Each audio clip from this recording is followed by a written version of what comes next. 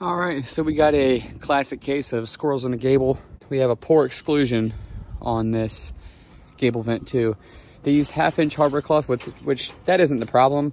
Um, it was just really loose. And as you can see, they were able to remove the exclusion work and uh, get their way back in. All right, so what I did here is I cut a little bit of this half inch hardware cloth out because it doesn't need to be removed right now, but for my exclusion, I'm gonna remove this and redo it with quarter inch. Um, we're removing it to have a hole large enough to where juveniles or any squirrels inside can get outside and go into this repeater trap. And I installed this colony trap and what I've done with the two-way door is just use a zip tie to mount the trap to make sure it doesn't go anywhere. So that way, you know, if mom comes around here and sh she's not gonna be able to get in through any of this stuff, but she will eventually, you know, try to figure out a, a different way. So she'll end up in this trap. Okay, let's see if we got anything. And it looks like we got one. Nothing in the colony cage.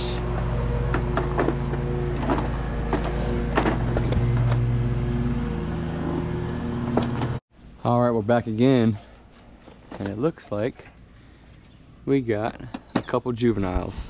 Gonna take your other cage trap, open up one of the doors, undo the spring on the back of this door, open it,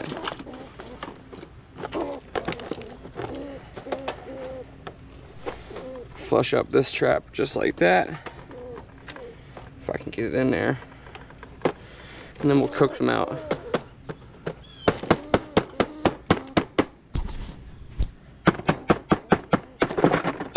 There we go, there's one. And there's two. There we go. So that colony trap is empty. We can close that door.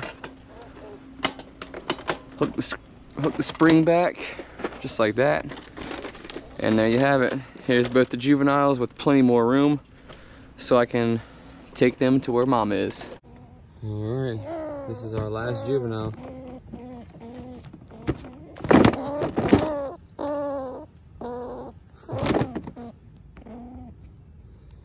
Juvenile number three.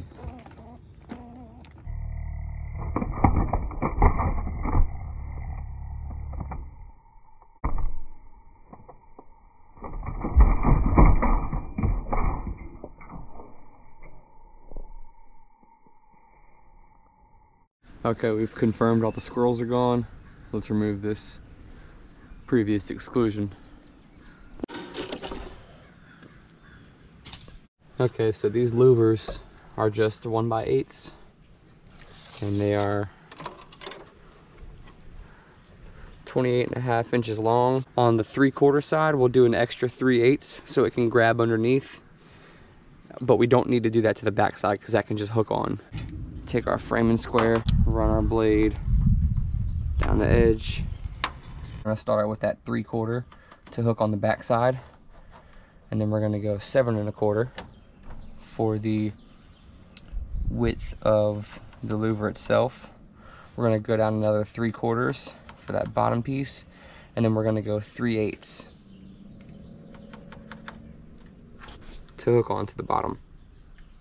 So we'll transfer this to the brake, put that last line of your measurement on the brake, and then score it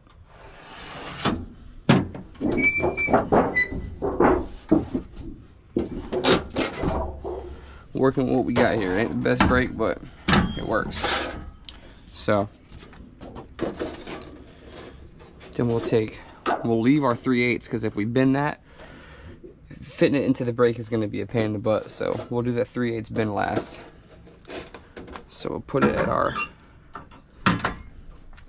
final three quarter mark and bend a 90 degree angle on that.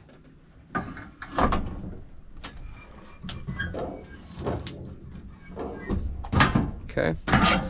And then we'll come up and we'll do the first one at a 90. We're basically just taking on the shape of that board. And we can always adjust that when it's up there. So that's what we're left with. we'll take our hand bender, which has a one inch and a 3 8 inch side. And we'll take that.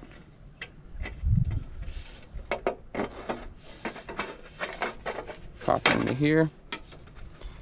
Actually, it's over 24, so we can't do that. So we'll just have to do this. We'll have to go, have to use our brake. Yeah, these hand benders are only 24 inches.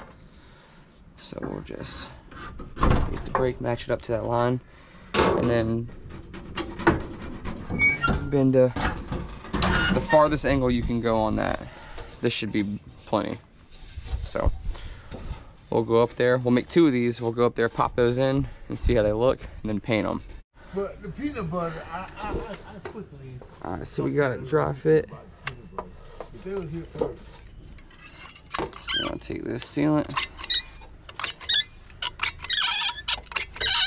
Put some right there, just so it don't move.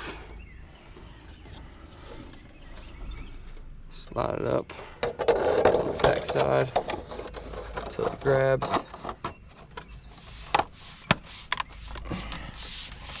Grab right there. That's not going nowhere. I knew y'all was gonna do that. I know it's you know that's that's what we usually do. We usually seal up the whole house. Yeah. So Well, why, it was, yeah. I didn't know y'all was gonna come and start doing uh, uh, uh, uh, this kind of work. Well, I mean that's how I do it. I can't speak for anybody else, but you know, Only way to do it. yeah, exactly.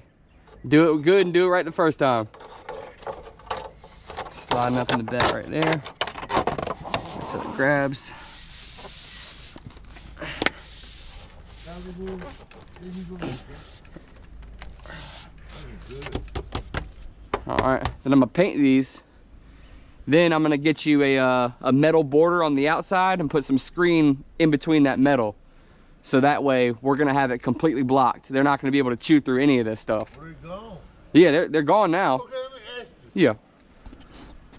Um, I repainted the bottom three.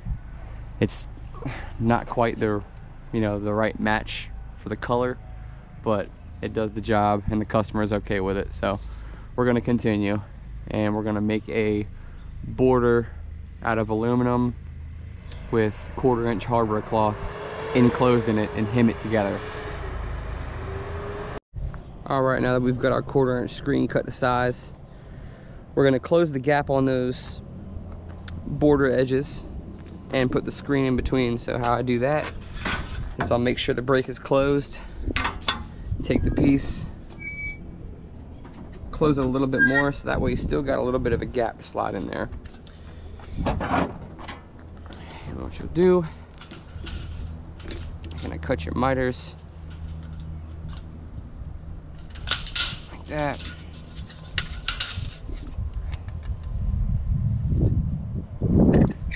like that. Then you're just gonna slide the screen in between. Give it a quick little tap with your crimping tool so that way you know we're hitting the bottom and your corners meet up.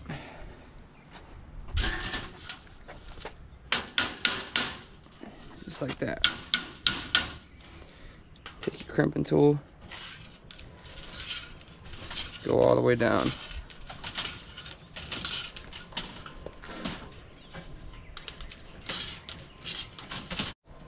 Here's the top portion again. Cut your miters at a 45. You can eyeball it. I mean, it's, you know, just make it look good. You know, slide that inside.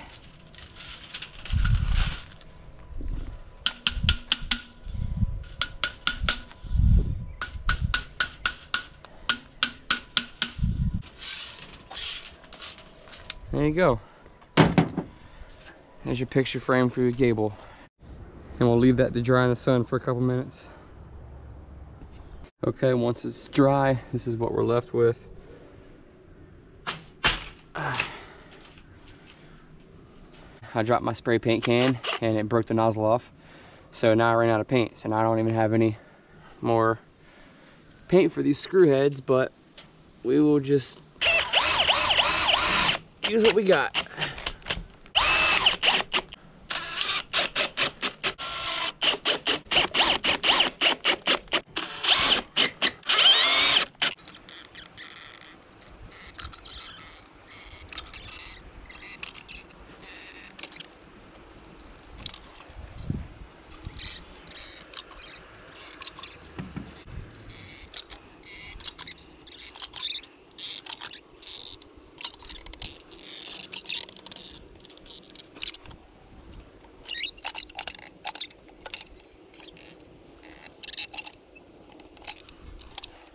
All right. That is the finished product. Yeah, you're not gonna be able to notice it from the ground. All the problem squirrels are trapped and removed. Mom and the juveniles, the ones, you know, familiar with this house. And um, there's no edge for them to start chewing. They're not gonna chew through that aluminum or that screening. And even if somehow they do, it's covered by warranty. So that's how we remove squirrels from a home, from a gable vent. Hope you guys enjoyed the video. And I was thorough enough to kind of show you what to do and how to do it. So that's what it looks like. On to the next one.